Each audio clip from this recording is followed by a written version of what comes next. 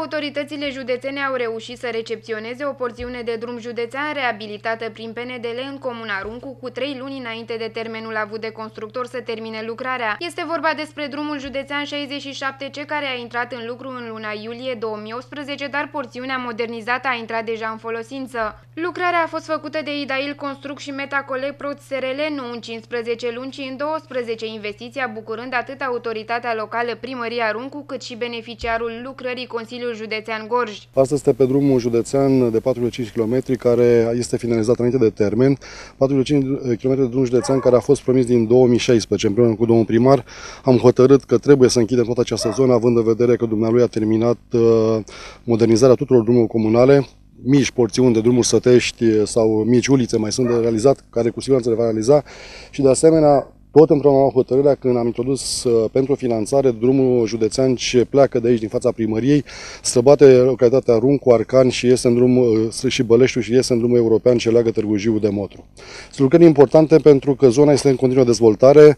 Uh, vara, iarna, multe pensiuni s-au deschis, sau foarte mulți turiști și era necesară această infrastructură, infrastructură care va trebui continuată și în alte zone. În Comuna Runcu au fost până recent trei drumuri județene în reabilitare, dar de puțin timp doar două mai sunt în lucru. Și cele două investiții sunt în termen, motiv pentru care primarul Comunei Runcu a mulțumit conducerii Consiliului Județean Goș pentru că a primit înțelegere în privința demarării acestor investiții pe raza unității administrativ-teritoriale pe care o conduce. Bună ziua, domnule președinte, domnule vicepreședinte, vreau să vă mulțumesc în numele meu personal și al comunității pe care o reprezint că am primit înțelegere din partea dumneavoastră cu privire la faptul că uh, Comuna Runcu fiind o comună turistică, ați înțeles că uh, drumul județean care leagă Comuna Runcu din drumul național până în cheile Sohodolului, uh, prezența astăzi pentru recepția lui, uh, ați reușit să-l finanțați și să-l finalizați prin Programul Național de Dezvoltare Rurală, pentru că ne-ați înțeles să ne predați drumul județean care tranzitează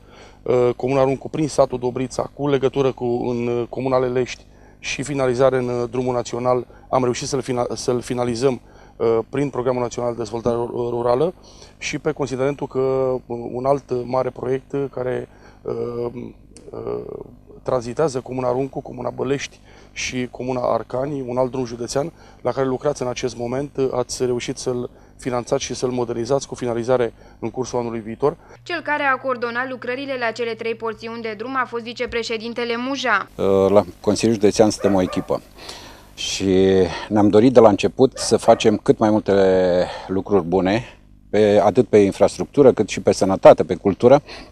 Iată că astăzi am ajuns uh, în situația în care putem să realizăm obiective mai devreme decât termenul pe care l-am uh, stabilit. Eu uh, vreau să-i mulțumesc domnului primar, domnului președinte al Consiliului Județean, pentru că am înțeles împreună uh, faptul că formând o echipă putem să realizăm pentru cetățeni lucruri bune și până la urmă ăsta este mandatul pe care l-am primit de la cetățeni. Runcu este comuna din Goș cu cele mai multe pensiuni turistice, 26, alte 6 fiind în proces de realizare.